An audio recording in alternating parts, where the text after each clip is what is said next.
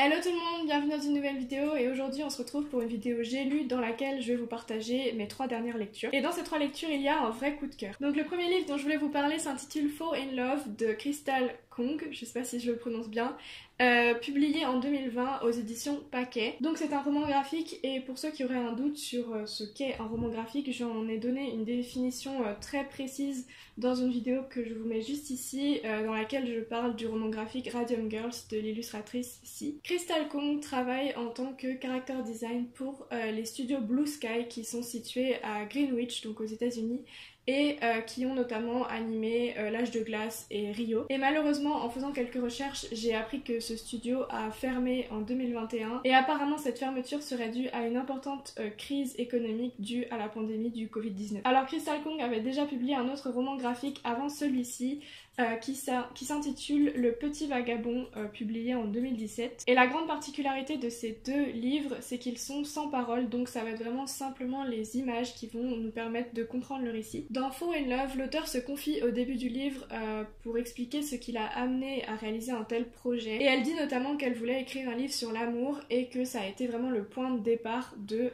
ce projet de livre. Et ensuite, plusieurs déceptions amoureuses personnelles vont venir renforcer cette recherche d'un amour idyllique qui lui semble vraiment impossible. Donc dans ce livre, l'auteur va venir diviser le récit en quatre grands tableaux qui vont aborder chacun un grand questionnement autour de l'amour. Elle va ainsi aborder différentes thématiques, notamment les applications de rencontre, l'idée de fantasme et également euh, l'homophobie. Et elle va le faire vraiment de manière très euh, métaphorique et euh, délibérément poétique. Et il faut également que je vous parle du style de dessin qui est incroyablement beau, et euh, on peut vraiment voir l'influence du cinéma d'animation dans ses dessins, je trouve. Donc c'est souvent très coloré et très onirique. C'est un livre qui se découvre, euh, je pense, en moins d'une heure, donc c'est vraiment très rapide.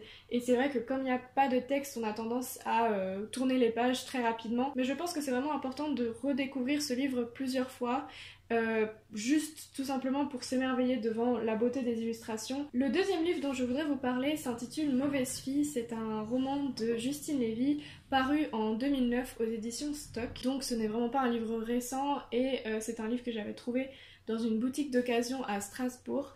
Euh, et c'est vrai que je sais pas pourquoi, mais j'ai souvent été attirée par maisons, la maison d'édition Stock. Et dès que je trouve un de leurs livres dans une boutique d'occasion, je peux pas m'empêcher de regarder le résumé donc euh, voilà, c'était je crois ma... la première fois que je lisais euh, vraiment un livre des éditions Stock. Et aussi j'aime beaucoup la mise en page de ces maisons d'édition, je trouve que c'est très lisible, euh, le texte est assez gros donc on, se fatigue pas du tout. Donc Mauvaise fille, c'est l'histoire de Louise qui va perdre sa maman à la suite d'un cancer et qui dans un même temps euh, va tomber enceinte d'une fille. Donc ce livre est vraiment le récit d'un deuil immense et très compliqué et en même temps le récit d'un amour naissant pour son enfant. Mais c'est aussi le récit de tout ce que euh, ce personnage de Louise va projeter dans l'éducation qu'elle a reçue et l'éducation qu'elle veut transmettre à sa fille, donc au travers de plein de doutes et de peurs. Quelque chose qui m'a frappé lorsque j'ai lu le livre, c'est euh, le réalisme tout simplement et en fait après quelques recherches je me suis rendu compte que c'est une autofiction. Donc juste Christine Lévy, au travers du personnage de Louise, nous fait part de son propre récit et euh, du décès de sa propre mère qui était ancienne mannequin. En effet, l'auteur est la fille de Bernard-Henri Lévy et de Isabelle d'Outrelouigne. En faisant mes recherches, je me suis rendu compte que